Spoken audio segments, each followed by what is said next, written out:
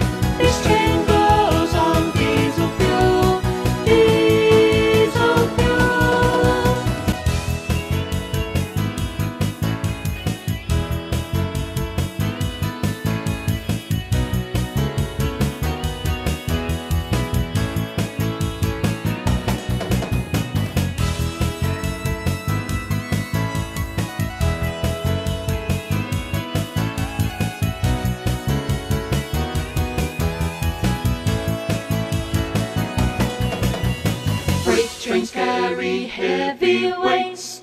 Like all trains, they can't be late. Carrying stones and